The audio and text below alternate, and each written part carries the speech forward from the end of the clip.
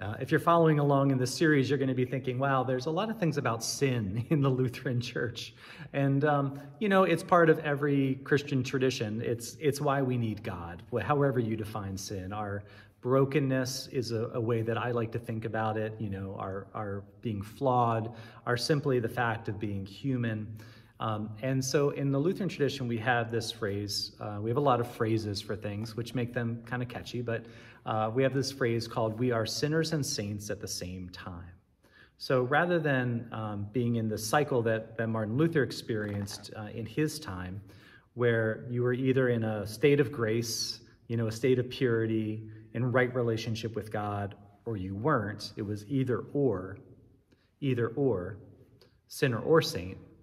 Martin Luther said, We are both sinner and saint at the same time which means as a saint, not kind of like, you know, the old saints you might see in the stained glass, but as people of God, as children of God, um, we are able to do incredible things because we have this gift of God's Spirit within us, because God calls us to love and serve our neighbor.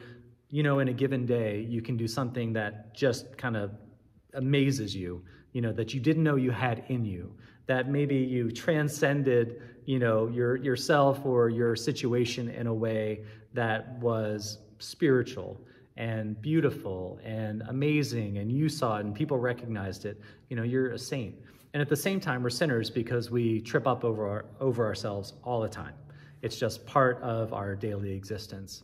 And so we're sinners and saints at the same time. We're not one or the other either or we're both and and so we hold the, the reality of our humanity and our relationship with God together, um, which is a much more sane way, I think, to live and to understand with uh, ourselves and to, to live with ourselves and others.